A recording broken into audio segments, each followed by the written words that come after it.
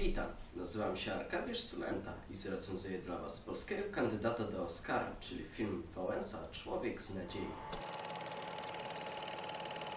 Wałęsa Człowiek z nadziei jest to dramat biograficzny, który opowiada o naszym bohaterze narodowym Lechu Wałęsi. Film sprowadza się do wywiadu Lecha z włoską reporterką Orianą Falassi oraz retrospekcji z życia przywódcy Solidarności. Widzimy znany motyw od zera do bohatera. Ale co jest nietypowe, to to, że nasz bohater w pierwszej retrospekcji zostaje ukazany jako osoba, która jest tchórzem, która żyje zgodnie z władzą, ponieważ boi się o swoją rodzinę. Ale już w następnej retrospekcji jest gotowy poświęcić wszystko na jedną kartę i tu jest pies pogrzebany. Przemiana bohatera w 5 minut? Może się nie znam, ale czy trochę nie za szybko? No bo w kinie przyjęło się, że przemiana po pierwsze następuje po jakimś miażdżącym dla bohatera wydarzeniu oraz po drugie nie jest aż tak gwałtowna, a jeśli już to stoi za tym zemsta i tym podobne. Tutaj tego brakuje. Niby minęły 3 lata oraz stoczniowcom zaczyna się uprzykrzać życie, ale i tak to stanowczo za szybko. Teraz przenieśmy się na grę aktorską. Robert Więckiewicz, czyli nasz Wałęsa. Jakby tu nazwać jego grę aktorską? Po prostu oszałamiająca. Rzadko się widzi, że aktor tak dobrze gra prawdziwą postać. W pewnych momentach nie mogłem rozpoznać, czy to aktor, czy prawdziwy Wałęsa.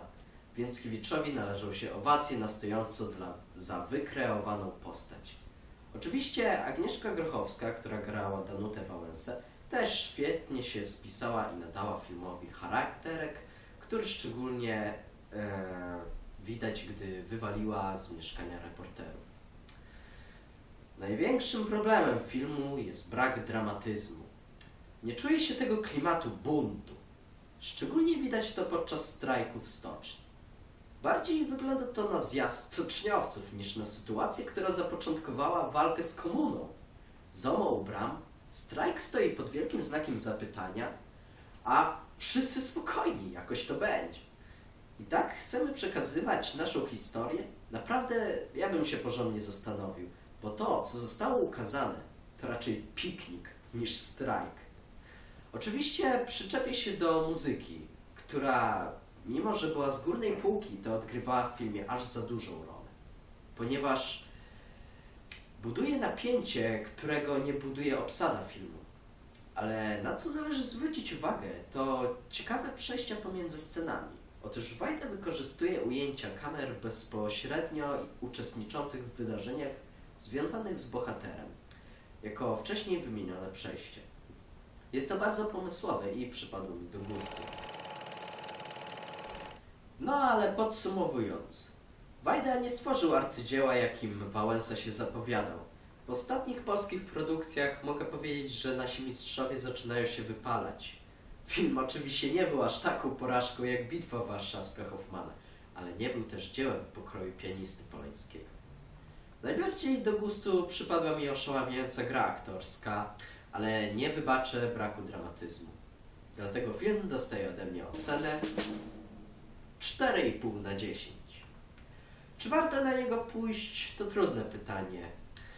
Ale jestem pewien, że film przypadnie do gustu szczególnie osobom, które pamiętają te wydarzenia ukazane w filmie.